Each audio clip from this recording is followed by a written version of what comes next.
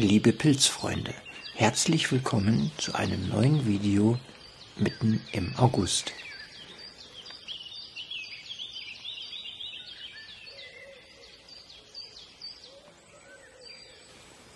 Mitte August lässt sich ein typischer Herbstpilz finden. Das hier ist der gelbe Knollenblätterpilz, ein leicht giftiger Wulstling. Man erkennt unten sehr schön die Knolle. Dieser Pilz riecht so ein bisschen nach alten Kartoffeln und ist wie gesagt leicht giftig. Ist gut. Der gelbe Knollenblätterpilz ist an sich ein sehr häufiger Pilz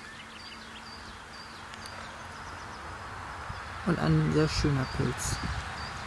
Man sollte ihn bewundern und stehen lassen.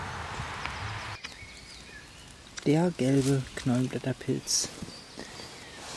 Mal wieder ein schönes Exemplar. Man sieht unten schön die Knolle. Leider leicht giftig, weil dieser Pilz ist eigentlich recht häufig und eigentlich auch recht hübsch. Und deswegen lassen wir ihn einfach auch stehen. Wieder drängt sich hier uns ein, ein grüner, ein, ich fange nochmal an. Äh, wieder drängt sich uns hier ein gelber Knollenblätterpilz auf. Schöner kann man ihn eigentlich hier nicht malen. Und wie schon erwähnt, er bleibt natürlich selbstverständlich stehen, denn gelbe Knollenblätterpilze sind giftig. Und gleich daneben erblicke ich hier noch einen weiteren gelben Knollenblätterpilz. Das ist ein Pilz, den ich eigentlich eher im Herbst erwarten sollte. Allerdings aufgrund der feuchten Witterung der vergangenen Wochen erscheint dieser Kollege aber bereits Mitte August.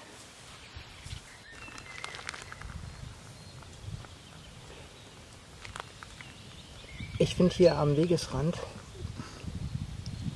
drei, vier Stachelboviste, die durchaus als Speisepilz in Frage kommen.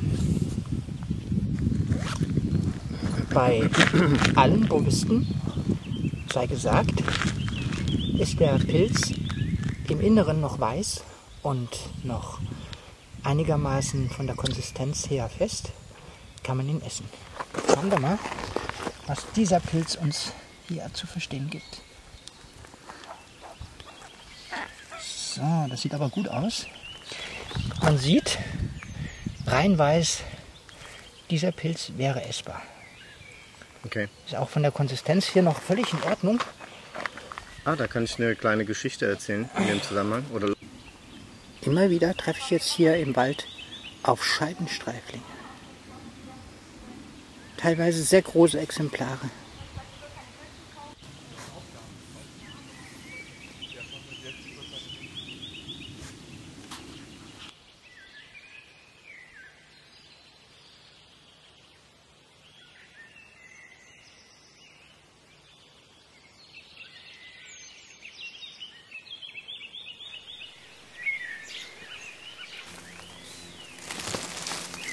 Ich denke mal, das ist hier der Strubbelkopf.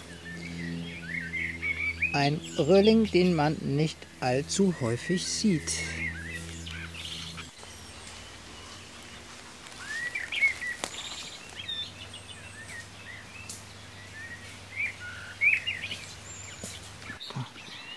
Ich finde jetzt hier Hainbuchenröhrlinge. Ich teste mal. Der Hut ist noch schön fest hier. Also nehme ich auch diesen mit und der sieht auch noch gut aus. Ja. Hier habe ich jetzt noch mal drei Hainbuchenrohrlänge gefunden. Und jetzt guckt mal hier. Wirklich schöne, knackige, tolle Exemplare sind das hier. Schaut so, sollen die aussehen. Einmal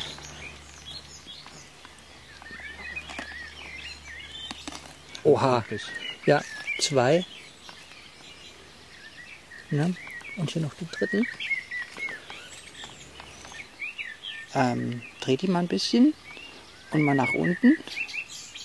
Jawohl, das sind tolle Exemplare hier. Die sind auf, auch, obwohl sie so schön groß sind, noch so richtig schön knackig. An den Stielen erkennt man es, dass es Raufußröhrlinge sind und darunter zählen ja die Hainbuchenröhrlinge auch. Hier lässt sich jetzt im Birkenwald, der Wald ist gemischt mit Fichten und mit Tannen, lässt sich jetzt dieser wunderschöne Birkenröhrling finden.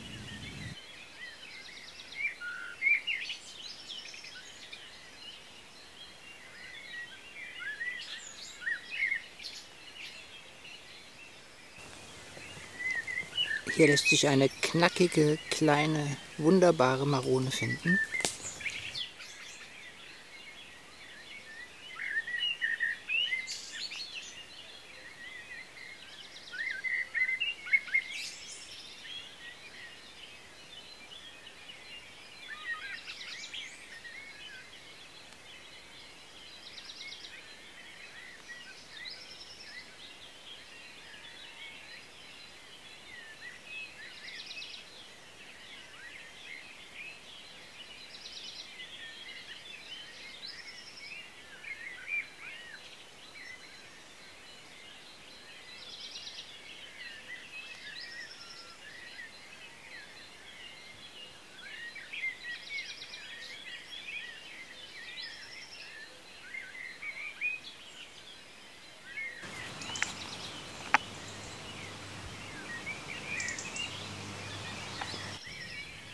Jetzt lässt sich hier im Laubwald doch tatsächlich ein kleiner, feiner, knackiger, schöner Täubling finden.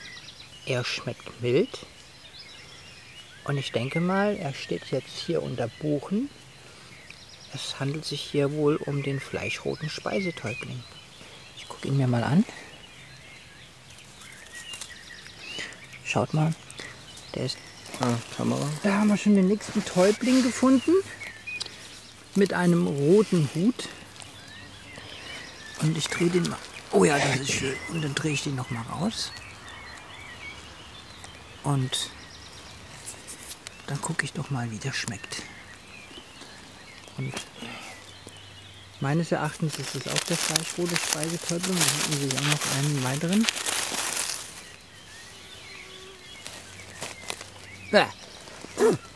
Nein, Heißt? dieser Täubling schmeckt brennend scharf. Okay.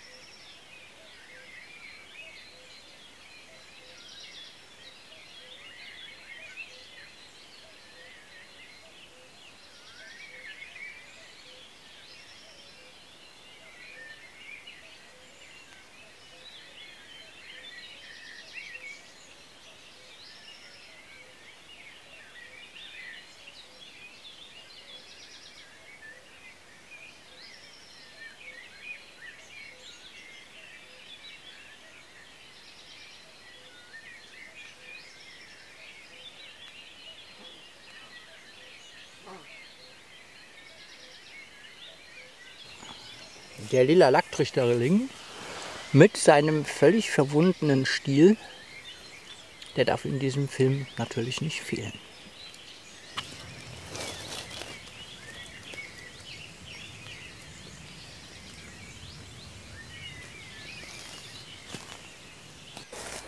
Haben wir hier zwei Waldchampignons gefunden.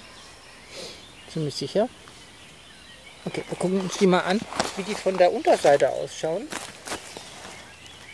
Man sieht die schokoladenfarbenen Lamellen Äh, wenn man Champignons sammelt, ist wichtig, dass man auf die Lamellen achtet, dass man keine weißen Lamellen äh, vorfindet, weil es gibt ja auch weiße Ritterlinge und es gibt auch den weißen Knollenblätterpilz oder auch den grünen Knollenblätterpilz, der kann auch sehr hell sein.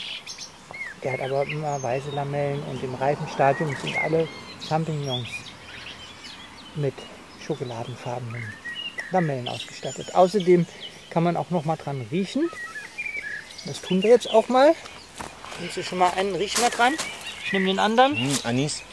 Riecht nach Anis, ne? Anis ähnlich.